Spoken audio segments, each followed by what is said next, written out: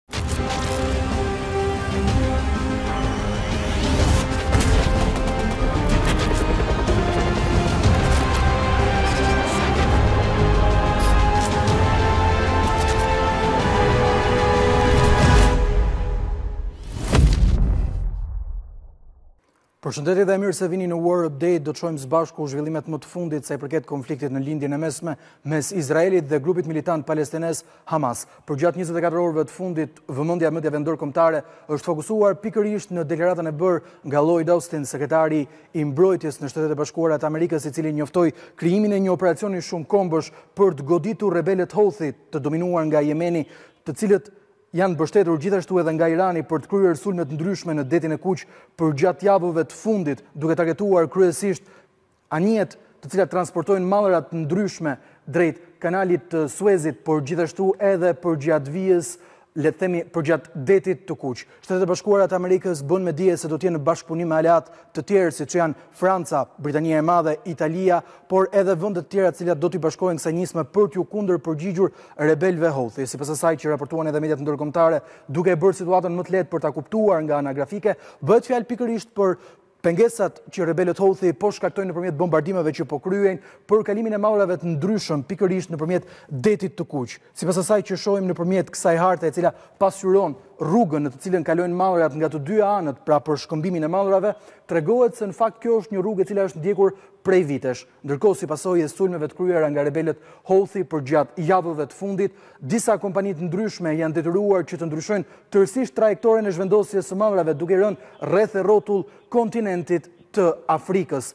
Sipas asaj që raportojnë edhe media të ndryshme ndërkombëtare, kjo lëvizje e Washingtonit është një lëvizje strategjike për të treguar se konflikti në Lindjen e Mesme nuk mund të përshkallëzohet dhe diçka e tillë nuk do duhet që të ndodhë.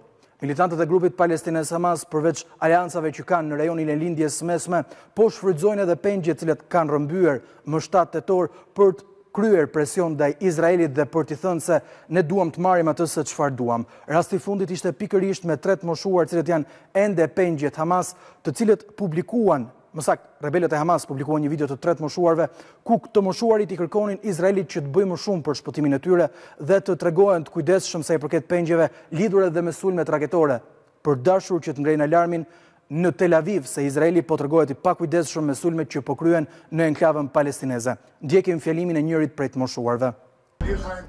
Emri im është Haim Peri dhe jam shtatëdhjetë e nëntë vjeç. Jam marrë peng nga vendbanimi Nir Oz Kibuc. Ndodhem këtu në një grup me persona të tjerë të moshuar dhe të gjithë ata vuajnë nga sëmundje të ndryshme kronike. Po jetojmë në kushte shumë të vështira.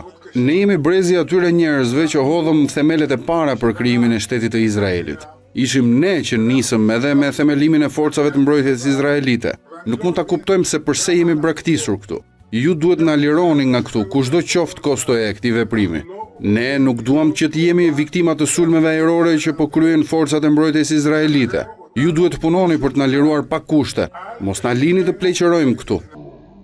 Izraeli thotë se puna për pastrimin e terroristëve të Hamas në veri të enklavës palestineze ka shkuar shumë mirë përgjatë javëve të fundit dhe misioni po zhvillohet me sukses pasi kanë pasur rezultate të larta të eliminimit të batalioneve të Hamas. Por sipas Institutit për Studimet e Luftës, lagja më e vështirë për Izraelin po kthehet pikërisht lagja Shijaja ku prej javësh forcat izraelite luftojnë me batalionet e Hamas për të pasur një kontroll më të gjerë dhe për të zhdukur pikërisht veprimet terroriste të këtyre militantëve që kanë sulmuar forcat izraelite në enklavën palestineze, por gjithashtu kanë sulmuar edhe Izraelin në sulmin e 7 tetorit, duke kryer një masakër dhe duke lënë të vrarë më shumë se 1300 persona. Sa i përket zhvillimeve të tjera, forcat e mbrojtjes izraelite thonë se duan të zhvendosen tani më me fokusin kryesor të tyre pikërisht në Khan Yunis, qytetin e jugut të enklavës palestineze në mënyrë që operacionet atje të zgjerohen njësoj si në veri të Gazës për zhdukjen e Hamas.